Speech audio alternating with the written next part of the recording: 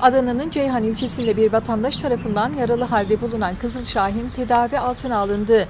Adana'nın Ceyhan ilçesine bağlı Mustafa Beyli mahallesinde bir vatandaş tarafından yaralı halde bulunan Kızıl Şahin, Osmaniye Doğa Koruma ve Milli Parklar Şube Müdürlüğü ekiplerine teslim edildi.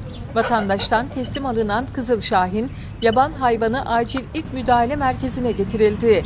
Veteriner hekim tarafından yapılan ilk incelemelerde kuşun sağ kanadında açık yara ve pençesinde yara olduğu tespit edildi.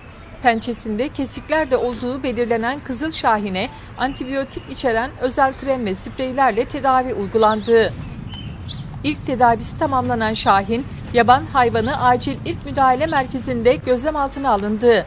Rehabilitasyon sürecinin tamamlanmasının ardından uçma yetisi kazanamayacak olan Kızıl Şahin'in hayvanat bahçesine gönderileceği belirtildi.